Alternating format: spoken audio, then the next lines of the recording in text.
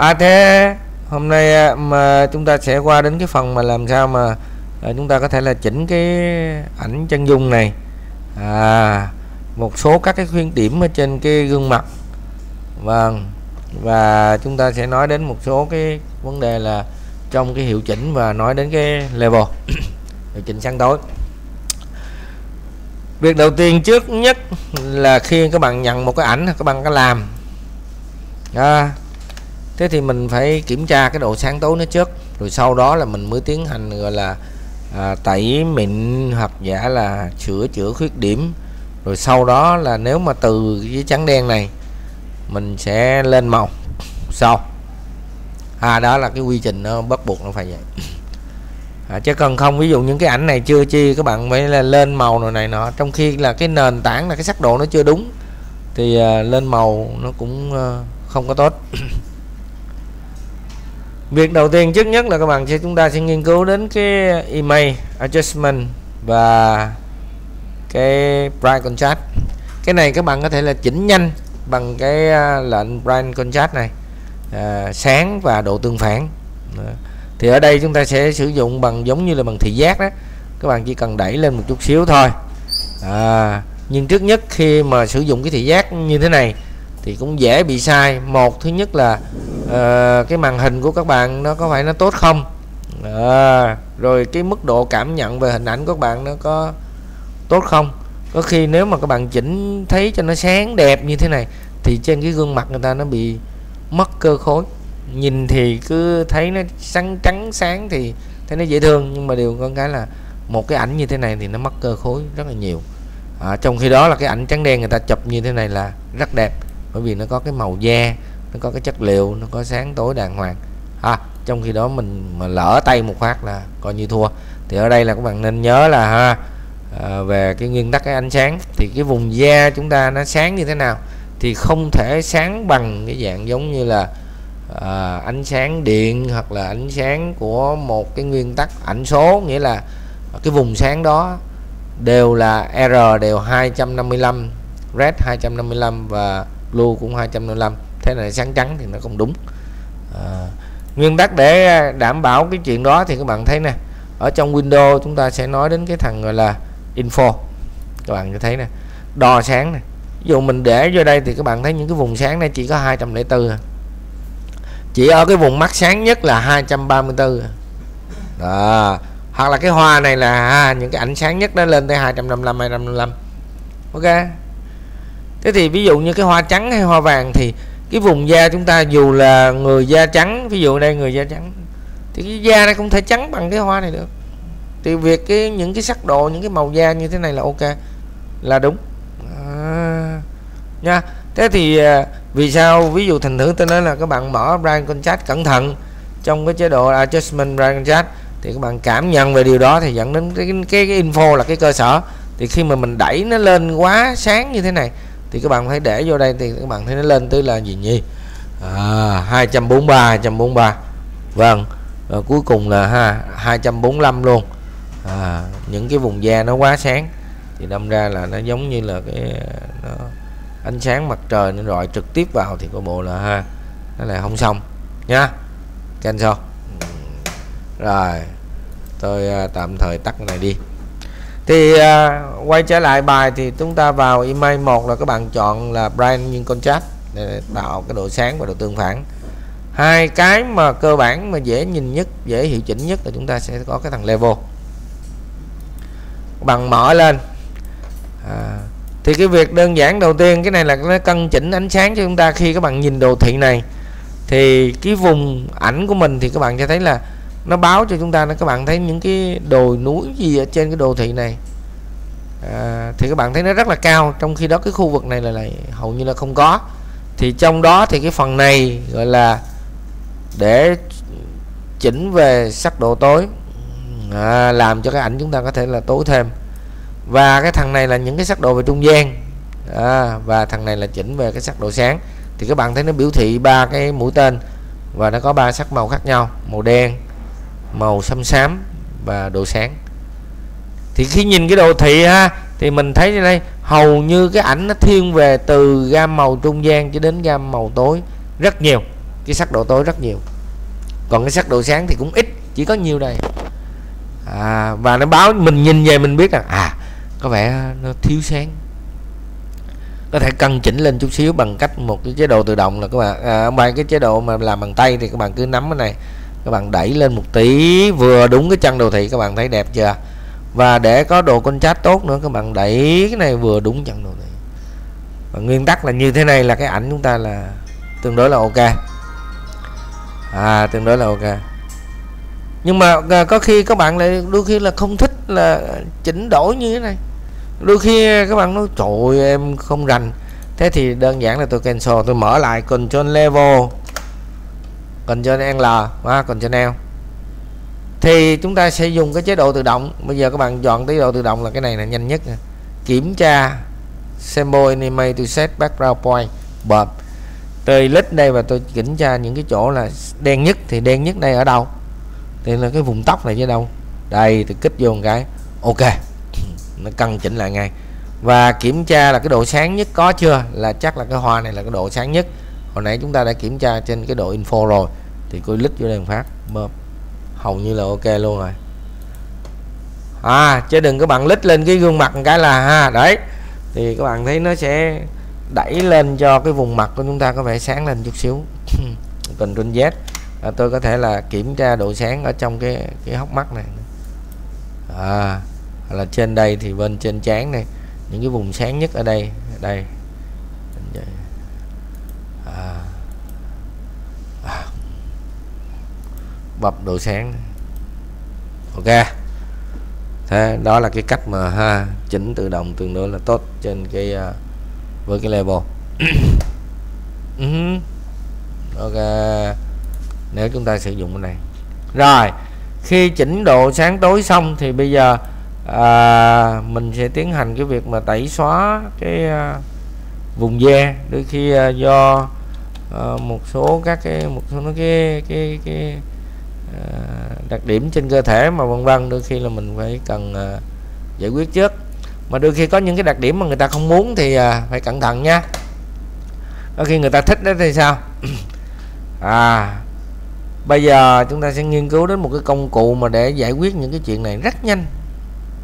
Rất nhanh. Đó là công cụ à, công cụ mà gọi là vá bát các bạn thấy bát vá ảnh này mình đã làm với cái biểu tượng của viên vá và phím tắt là G nhé.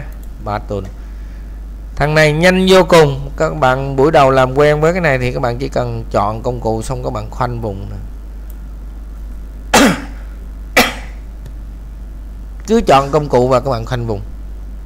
Xong các bạn đưa vô bên trong này. Các bạn đẩy lên chỗ cái vùng sáng và những cái vùng sạch sẽ nhất. Và nhớ là những cái sắc độ ảnh nó phải tương đương nha các bạn đừng kéo ra cái vùng đen thì nó lại là, ha, không xong đấy.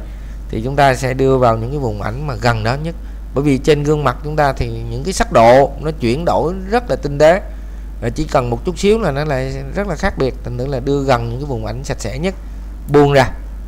Các bạn thả chuột ra. Thế là nó copy cái vùng này lên đây ngay này. Và không cần là các bạn phải còn trên D, bỏ vùng chọn đâu. Các bạn tự vì ở trên đây lúc nào nó cũng là chế độ new. Ha, các bạn khoanh vùng ở chỗ này và tôi đẩy cái vùng xuống như này. Và khoanh vùng này. Và chỉ cần một đồng bài động tác nhỏ như thế này thế là xong luôn rồi.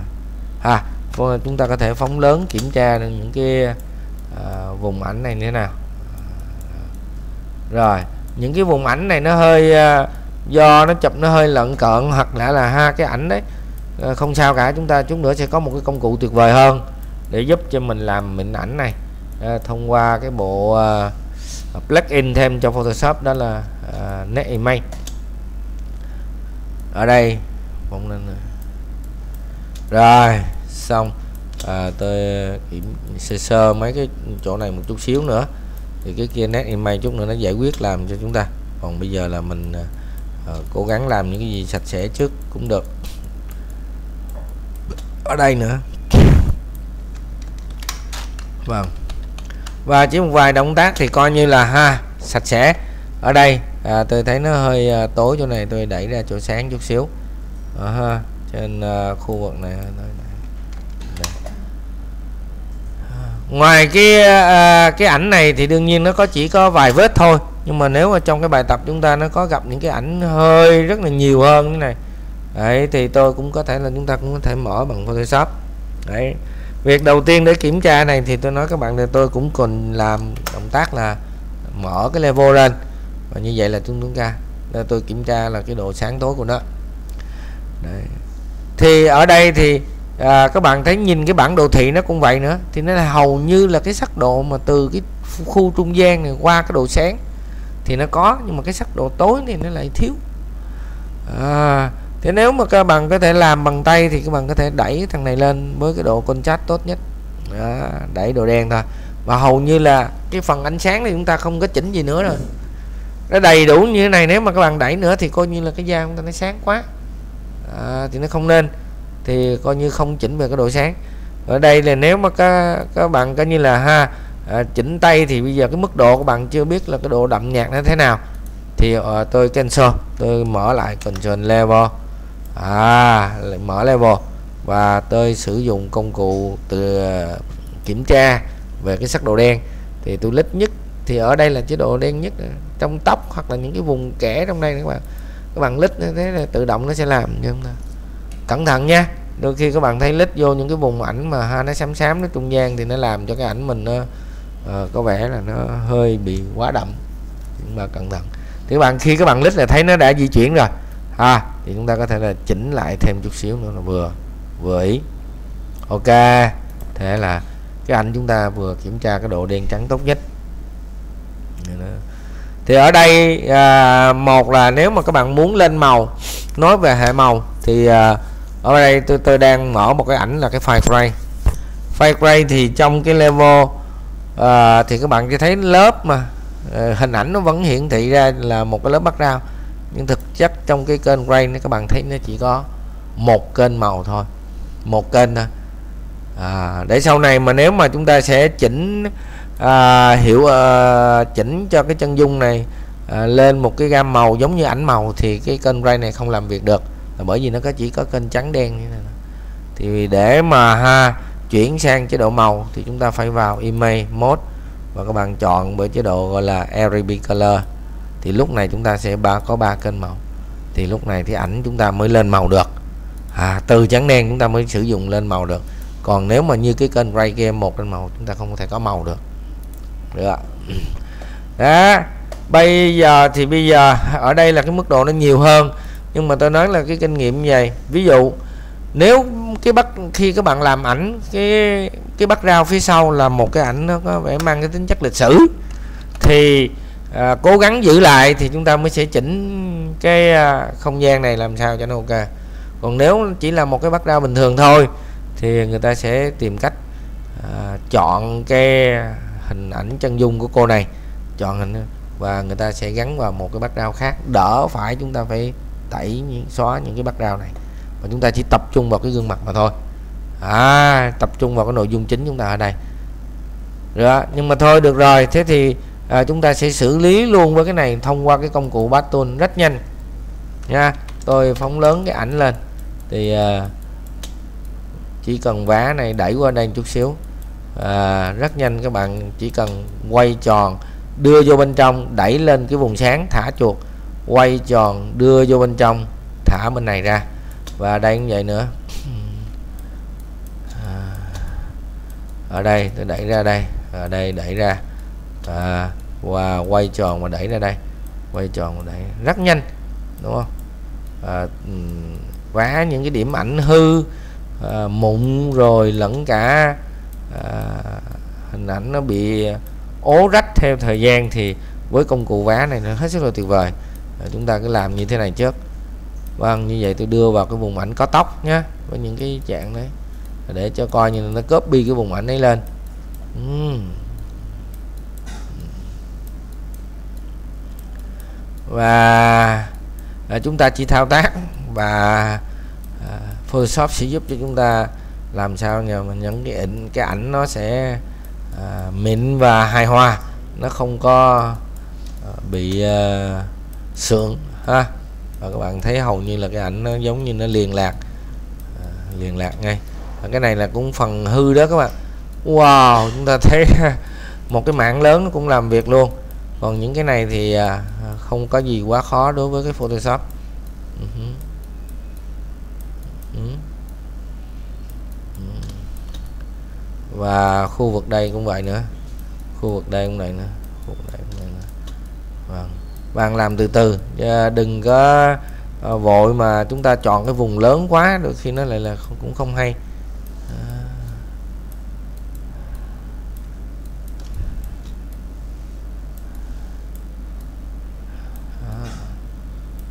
Đấy thấy không? Đấy, chúng ta giải quyết một cái vùng nào đó nó sạch sẽ trước rồi từ từ là chúng ta sẽ à, giải quyết những cái vùng nhỏ kia sau.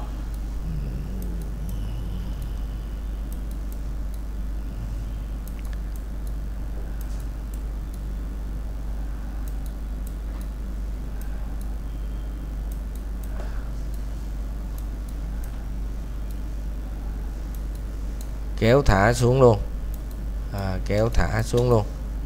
Kéo thả xuống luôn. Kéo thả xuống. Cái vùng bên đây nữa. Đây nữa. Đây nữa. Còn chỗ này nữa. Vâng. Thế chỉ còn một vài à, động tác cũng à, nhanh các bạn ha. Vâng. Đấy động tác vá ảnh. Rất nhanh các bạn cứ quay và kéo thả vào những cái vùng sạch nhất. Rồi đó còn ở đây à, một à, chút xíu nữa thôi. À, rất nhanh nè. À, tôi quay đây thả này đây thả chút xíu. À, tập trung vào cái gương mặt. Ngay chỗ đây cũng vậy nữa. Cố gắng đi à, nhẹ nhàng. Và ngay trên đây cũng vậy nữa. Bạn có thể phóng ảnh lớn lên. Và đẩy tôi đẩy gần cái vùng da này.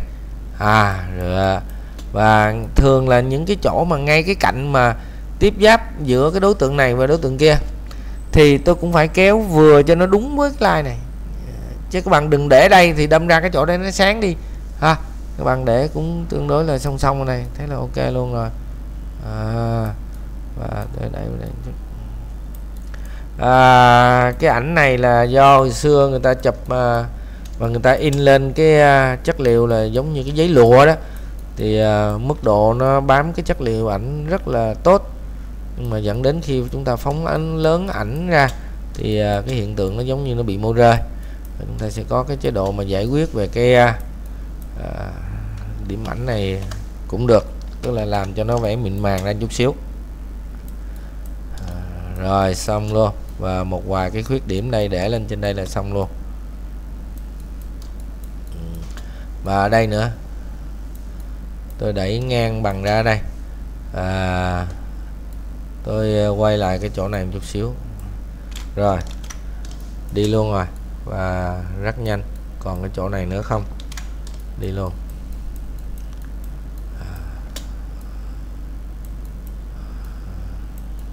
Đây là cái công cụ vá ảnh.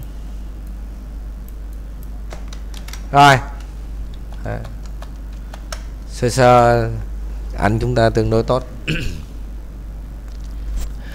một trong những cái công cụ vá ảnh để giới thiệu các bạn xong thì uh, cái kết quả là như thế này. Chúng ta sẽ nhờ một cái thằng net email làm mịn khác nữa.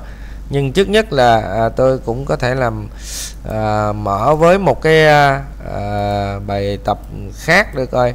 Sẽ có những cái uh, chúng ta có thể là xử lý với một cái công cụ uh, ngoài cái công cụ vá ảnh ra chúng ta còn có một cái công cụ khác nữa để xử lý cái hình ảnh này giờ tôi mở tiếp là cái hình này nha. Đấy. thì các bạn sẽ thấy là do cái đây là trên ảnh màu. Chúng ta cũng xử lý được. À, vâng.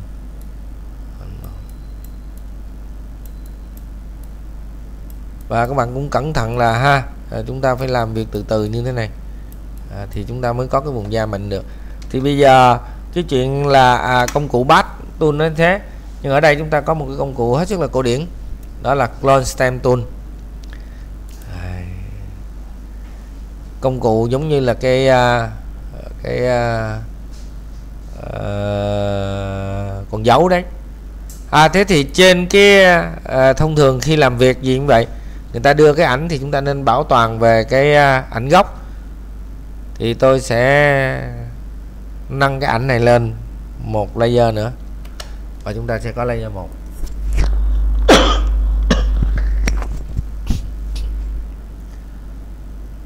Sau đó các bạn sẽ làm dùng công cụ clone stem.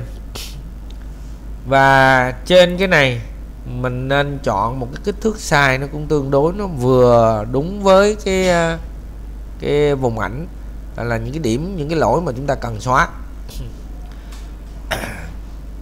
quan trọng là cái độ bén nét của nó là bằng không tức là những cái biên độ mềm.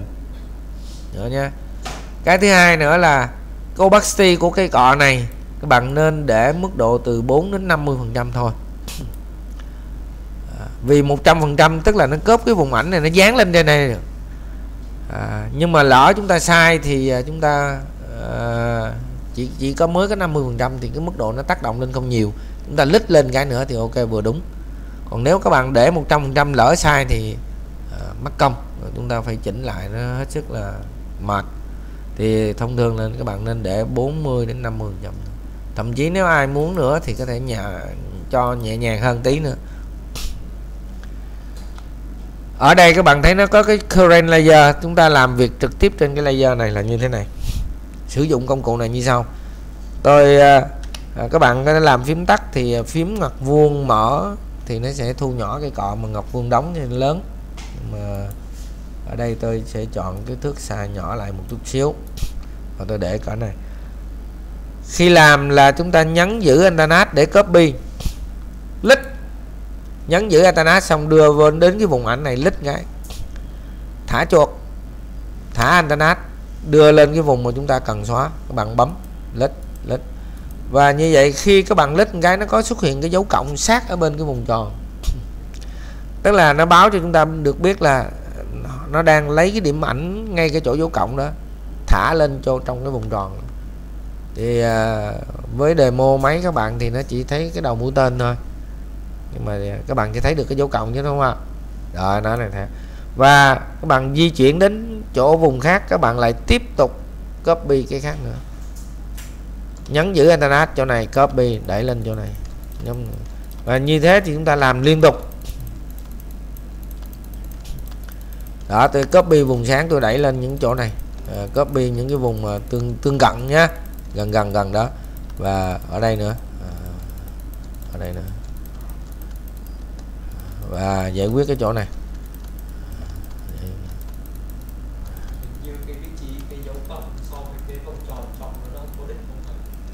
À, cái gì em?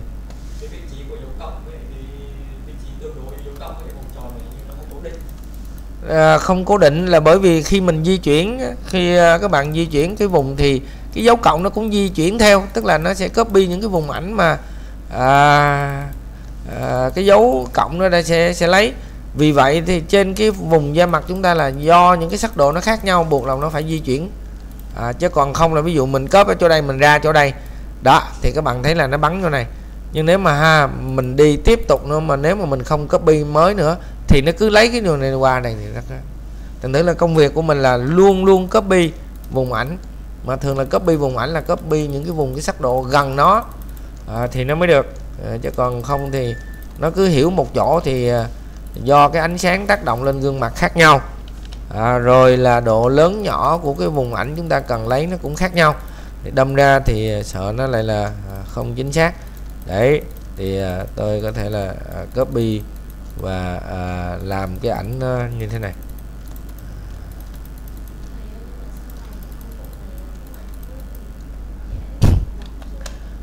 Không phải lõm. Không không phải lõm. Là vì ví dụ như à, tôi đang sử dụng là tôi lấy cái vùng sáng mà tôi đánh vô vùng tối. Đúng không? Và dẫn đến là ha cứ như, như như vậy đi thì dẫn đến bây giờ mình sẽ giải quyết lại sau những cái chuyện này nè. Đó cẩn thận ha. Đó, chứ không phải là nó làm nó lõm đi. Đó, mình sẽ đánh nó lơ lên. À, cẩn thận là ha nó nó lấy nó, mình sẽ ờ, có người làm không quen thì không những là người ta ví dụ lỡ một cái các bạn copy đây quốc người ta có một cái người ta mình làm thêm một cái nữa thì hết sức là khó khăn. Đó, như thế.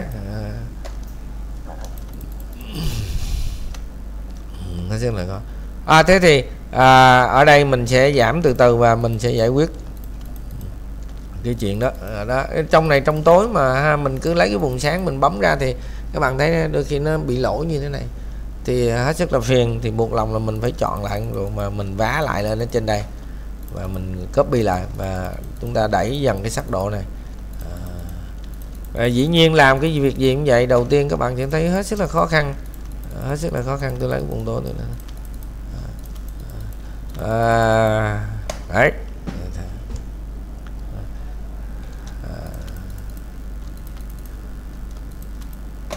À, ngoài cái thằng này ra chúng ta sẽ ở trong đây nó có một cái thằng Headlink Red Tool nó giống như nó dậm á. À, ha. Nó những cái vùng ảnh này vâng ví dụ copy là nó có thể xoa đều giữa hai cái thằng này lại với nhau so đều giữa cái phần trung gian những cái vùng ảnh này giữa vùng sáng và vùng tối. À, lít đây các bạn cũng vậy lít chọn vùng sáng rồi đưa lên đây. À, nhấn internet để copy rồi đưa lên các bạn xóa. Các bạn thấy cái vùng ảnh chúng ta nó đó. Thì nó nó nó nó vẽ hòa lẫn lại một chút xíu. À, ngoài cái việc chúng ta sử dụng công cụ lên còn có một cái thằng là à, uh, Headland Bristol để chúng ta có thể là dặm ha để xoa giống như là à, các à, bạn nữ là ha, trang điểm xong thì người ta sẽ có một cái cục mút người ta tán đều ra một chút xíu. À, đẩy tán đều ra một chút xíu. Thì các bạn sẽ thấy là giải quyết cái vùng bên trên rất là ok. Đấy cái này nó cũng còn nữa nè. Ở đây thì vâng ảnh làm nó chưa hết nó cũng còn cái này. Thì bây giờ tôi lấy cái headline redstone tôi chích này xuống để lên đây một dậm một phát. Và à, làm cho cái vùng ảnh nó tán mờ ra. Thì à, tương đối là nó mịn hơn. Ở đây cũng vậy copy này các bạn tán lên. À, nhưng nhớ là đừng có copy cái vùng tối quá đưa vào cái vùng sáng. Tức là những cái vùng tương cận thôi. Rồi thì à, à, ở đây công cụ lên stem sẽ giúp cho mình cũng làm những cái việc tỉ mỉ đó. Đây những cái chỗ chút đây chúng ta nhắc lại nhé. Nhấn internet lít copy đưa lên vùng này đẩy lên. Và tốt nhất là như thế này.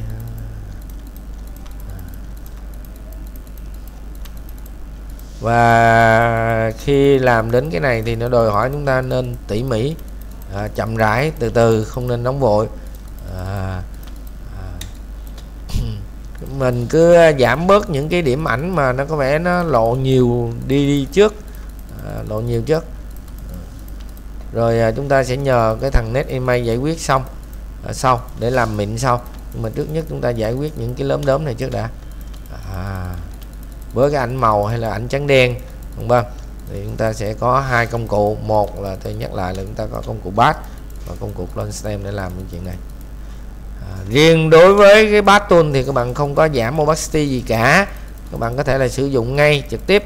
Nhưng mà riêng đối với công cụ clone stem các bạn chú ý là à, biên độ mềm và cái opacity nó khoảng từ à, 4 đến 50 phần trăm thậm chí có thể thấp hơn một chút xíu. À, và chúng ta có thể làm trực tiếp trên laser như thế này. Một cái nữa, tức là nếu các bạn ngại thì người ta thì dùng một cái phương pháp, tức là tôi nêu một cái laser trống Ctrl Shift N để nêu một cái laser lay một laser rỗng. Trên cái laser này thì các bạn vẫn có đang, chúng ta vẫn xài này. Nhưng mà thực chất laser rỗng nó có cái điểm ảnh nào đâu mà copy. Và chúng ta chỉ cần thay đổi trong cái current layer bằng cái chế độ gọi là on layer tác động tất cả một cái. Cái này rất hay. Tức là nếu các bạn làm sai các bạn luyện tập thì các bạn chỉ cần xóa cái laser này thì cái ảnh chúng ta vẫn giữ nguyên khi. Mà khi đã làm xong rồi chúng ta có thể dập lớp này chấp nhận ha. Ví dụ tôi sẽ làm thử cho các bạn thêm với cái uh, mới là chúng ta làm việc trên một laser không có điểm ảnh nào nhưng nó vẫn có thể là copy được. Vì chúng ta chọn chế độ là tất cả các cái laser được chấp nhận nha. Ở đây xóa. Và các bạn làm việc bình thường như trên làm trực tiếp trên laser và tôi lít tôi xóa như này.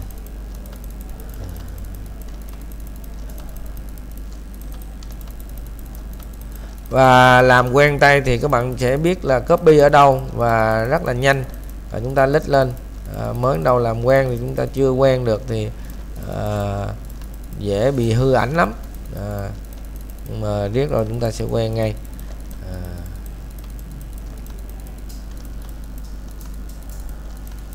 À, và à, các bạn thấy là tôi copy liên tục những cái vùng ảnh mà xung quanh để mà xóa lên những cái vùng ảnh mà tôi cần muốn xóa. À,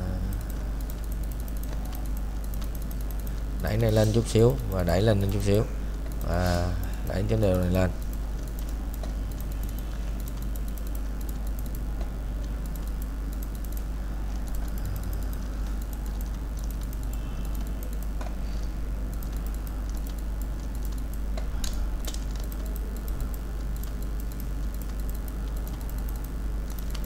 Vâng. Wow. À, à, không biết làm sao thì à, gặp những cái gương mặt như thế này thì à, tốn thời gian cho chúng ta sẽ làm việc nhiều hơn. À, để chúng ta giống như là một bác sĩ giải quyết cái việc là cái làn da nó bị dị ứng như thế này. À, nhưng không sao. Nếu mà người thực thì à, có lẽ tốn rất là nhiều thuốc. À, và không ít thời gian để đi đến gặp bác sĩ nhưng mà gặp đến Photoshop của chúng ta thì trong vòng à, tích tắc làn da này sẽ được mịn màng và sẽ rất là đẹp.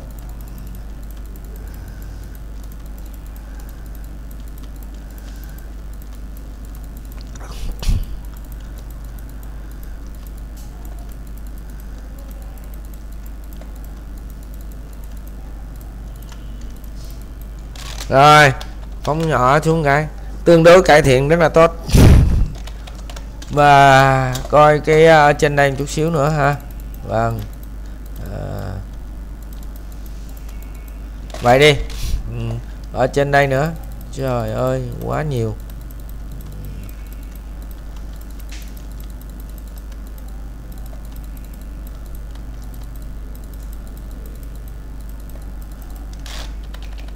À, có khi à, chúng ta chọn những cái vùng ảnh có thể lớn hơn một chút xíu đúng không? À, cải thiện tốt rồi đấy. À, ở chỗ cái à, khóe này một chút xíu nữa. Rồi à, ở đây một tí nữa. Ở đây một tí nữa. À, vùng đây một tí nữa. Vùng đây một tí nữa. À ở cái à, chỗ cái vùng này. Vâng. À, trên đây nữa wow wow wow. Chúng rồi được rồi. Tương đối các bạn nhìn thấy có vẻ nó đều đều nhau là được mặc dù nó vẫn còn đốm đốm nhưng mà không sao. Chúng ta nhờ một cái công cụ khác. À, miễn là nó đều đặn với nhau như thế này là ok rất là tốt. Rồi. À, và các nhìn tổng thể là tương đối là ok.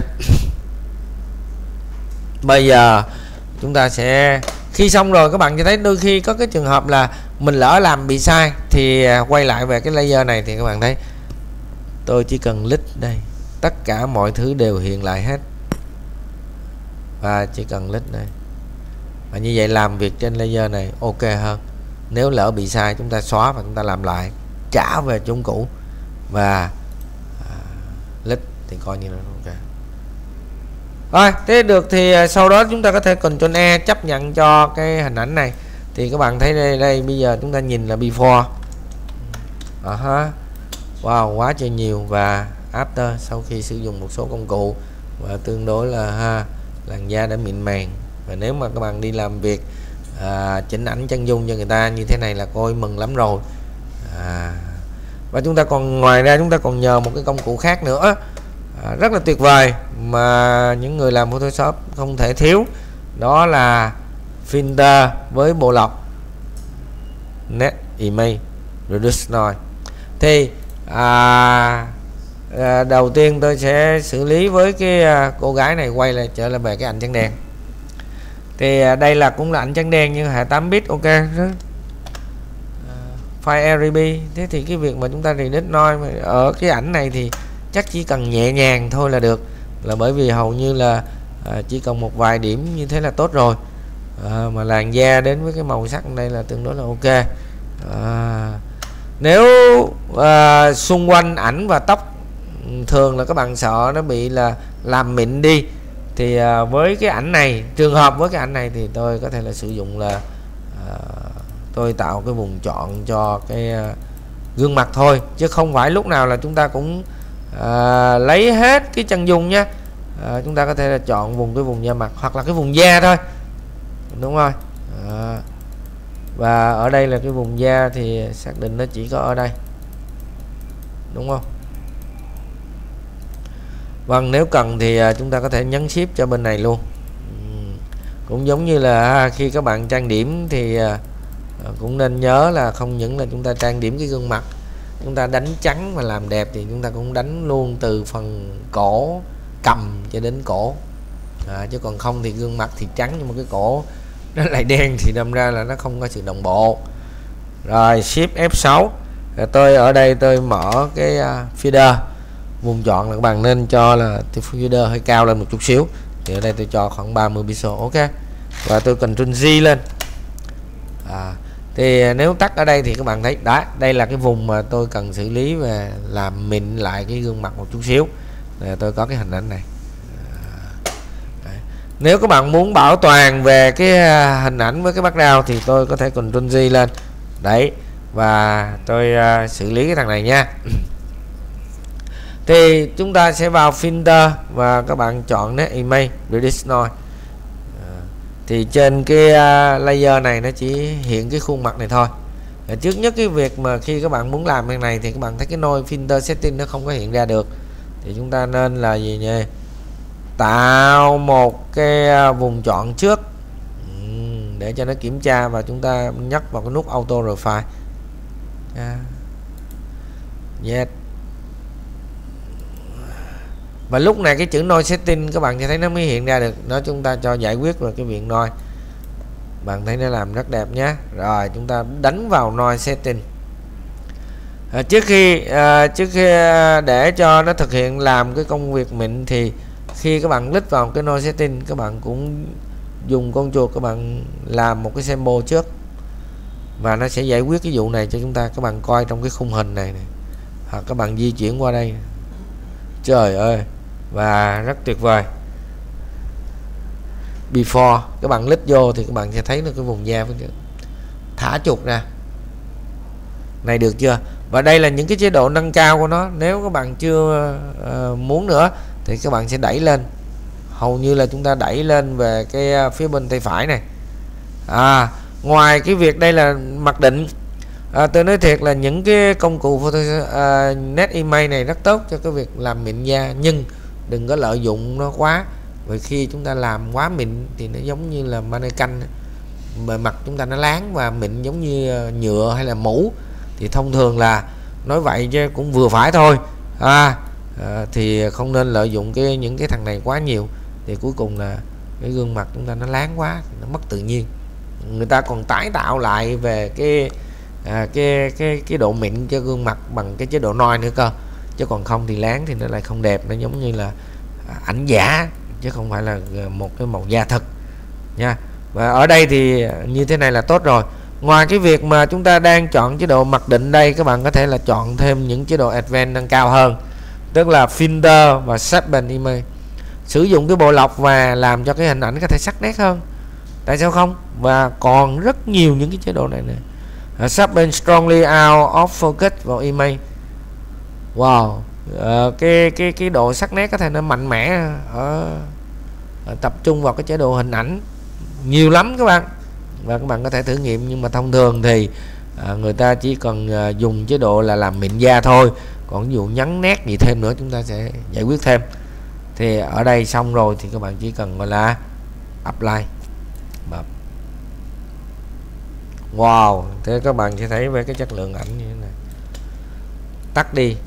Bạn thấy chỗ này rất hiện rõ. Mở lên. Tắt đi.